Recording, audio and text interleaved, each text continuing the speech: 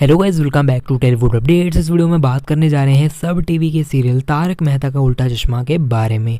तो last week show की TRP जो है वो हमें उसमें इंक्रीज देखने को मिला था और सीरियल की टीआरपी फिर से 2.1 पहुँच गई थी। उससे पहले जब 2.1 आई थी, वो थी दया के रिटर्न वाले ट्रैक पे, जहाँ पर दया एक्चुअल में आई नहीं थी। और उसके बाद यानी कि जो पिछले हफ़्ते जो टीआरपी हाई गई थी, वो इस करके गई थी बिकॉज़ रोशन की रिटर्न वाला ट्रैक था और उसी के चलते हुए लोग एक्साइटेड थे कि कौन होगी जेनिफर मिस्त्री की रिप्लेसमेंट वो सब देखने के लिए।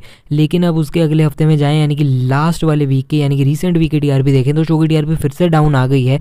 2.1 से कम होकर सीरियल की टीआरपी 1.9 पे वापस से आकर अटक गई है। तारक मेहता उल्टा चश्मा की TRP most of the times 1.9 ही देखने को मिलती है हमें पास्ट कई वीक्स से।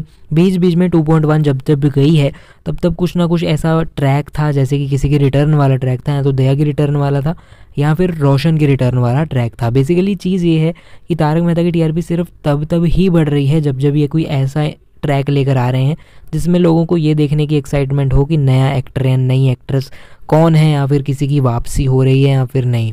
तो बेसिकली तारक मेहता को टीआरपी तभी तभी मिल रही है जब तक कि कोई इस टाइप के ट्रैक्स लेकर आ रहे हैं और उसके बाद जब नॉर्मल हो जाता है सब तो टीआरपी फिर से 2.1 से कम होकर 1.9 पे आ जाती है। आपको क्या लगता है इस साल 2024 में अगर ये दया को वापस ले आते हैं तो इनकी टीआरपी हमेशा के लिए टू प्लस रह पाएगी या फिर ऐसे ही गिरता रहेगा बार बार 1.9 पे? बिकॉज़ पहले एक टाइम हुआ करता था कि तारक मेहता हमेशा ही हमारे इंडिया के टॉप फाइव टॉप सिक्स की लिस्ट में हुआ करता था। लेकिन अब टॉप टेन में होता है, ज़रूरी नहीं हर बार टॉप फाइव में हो। कभी कभी होता है कि टू प्लस की टीआरपी लेकर आए और इस हफ़्ते लेकर नहीं आ पाया है।